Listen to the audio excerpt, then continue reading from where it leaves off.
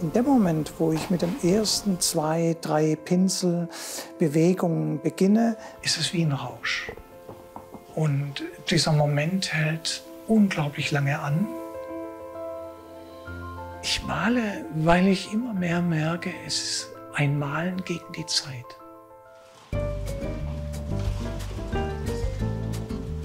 Wer Hannes nicht kennt, hat die Welt verpennt, würde ich sagen.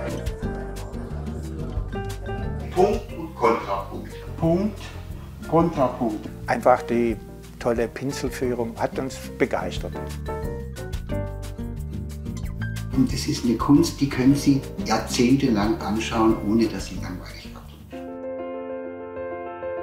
Es war so eine Befreiung für mich, bei der ich eigentlich keine Ängste mehr hatte. Da gingen Listen rum von dem Magazin Stern mit der Bitte, dass jeder sich dazu bekennen soll, der den Mut hat. Für mich war wichtig, mit Vorreiter zu sein, anderen Mut zu machen. Ein Leben ohne Kunst kann ich mir gar nicht vorstellen. Wenn man mir die Pinsel wegnimmt, dann glaube ich, ist es das aus.